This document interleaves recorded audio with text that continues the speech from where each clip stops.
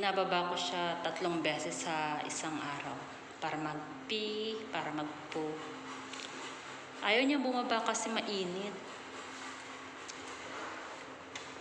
Ano siya? Si Momo. Pinapawisan na siya.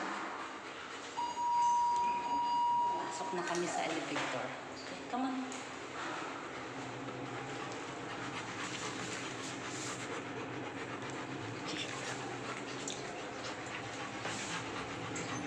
Ayaw niyang bumaba kasi mainit.